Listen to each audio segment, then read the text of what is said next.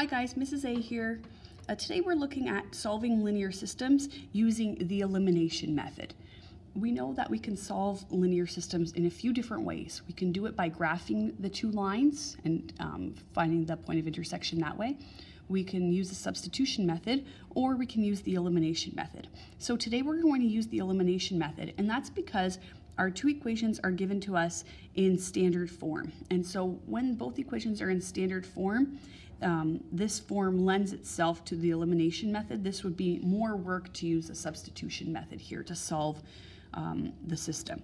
So when a question says solve the linear system, that means to find the point of intersection. We know that when two lines are graphed, they cross at one point in most cases, and we want to find what that point is. So to use the elimination method, we're going to compare the x terms and the y terms here. Notice how I've written them above each other, so I have a column for the x terms and a column for the y terms, and then a column for the constants. These constants could also be on the left side of the equation with zero on the right-hand side, and that would serve the same um, purpose here. So when we compare the coefficients of the like terms, the x here has a 2, and the x here has a 3 and then the coefficient of the y has a negative 3 and the other y has a positive 6. So neither of the terms have the same coefficient. So we need to manipulate the equations a little bit here to force them to have the same coefficient because that's how we eliminate a variable.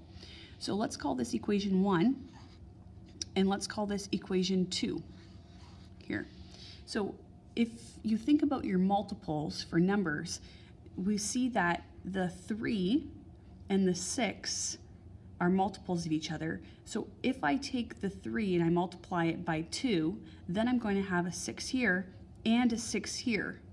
So let's do that. Let's manipulate this equation here to force it to have a 6. So I've chosen what I see as the easiest method right now. That's not the only way that you can eliminate a variable, but that's the way that I see it as the easiest with just one step. So if I want to change this to a 6, I have to multiply it by 2. But if I multiply this term by 2, I need to multiply this term by 2 and this term by 2. You have to multiply the entire equation by 2 in order to keep it the same equation and not change it into something else. So let's rewrite this now.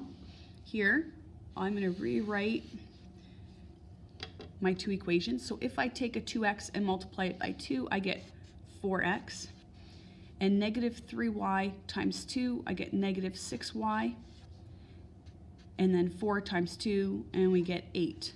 So that's the new equation. It's just a multiple of the original, so it is the same equation.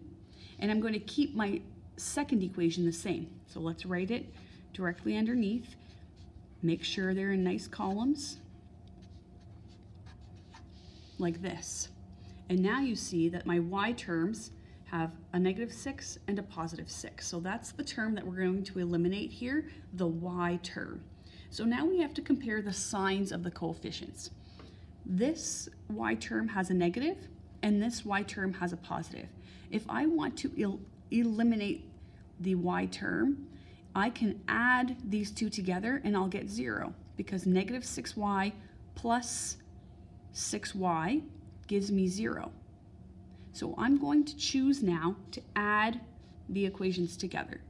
Now, if I had a positive 6 and a positive 6, I would subtract the equations because then I would get 6 minus 6 gives me 0. So you're the one that determines whether to add or subtract the equations together to eliminate a variable. So now let's do this. And we have to do it in columns again because we want the like terms to come together. So 4x plus 3x gives us 7x.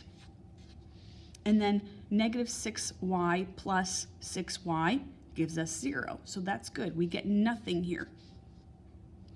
And then on the other side, 8 plus negative 15 is going to give us negative 7.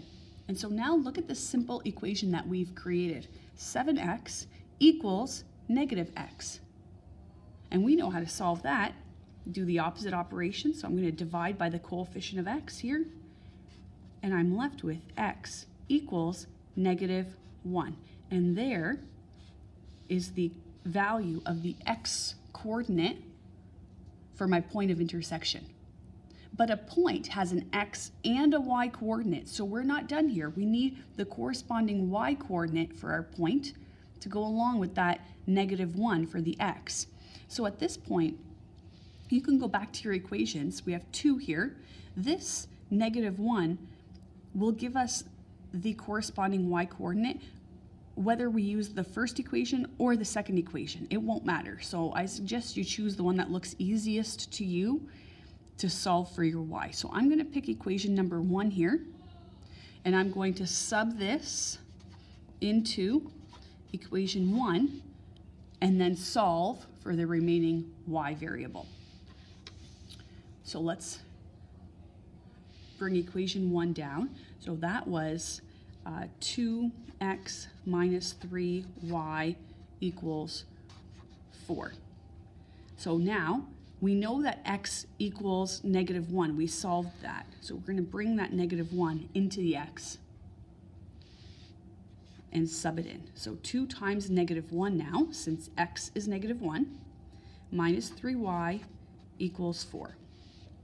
Let's evaluate this. 2 times negative 1, and that gives us negative 2 minus 3y equals 4. So we want to solve now for the y variable. There's only the y left. We're going to solve for the y.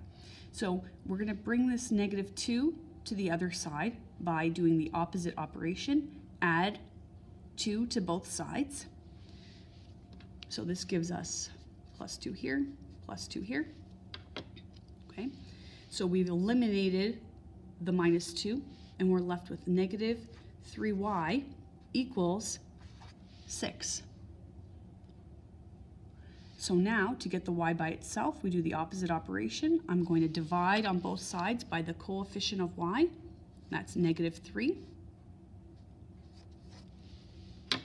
Okay, so the negative 3's uh, cancel here, and then we're left with y equals 6 divided by negative 3, which is negative 2.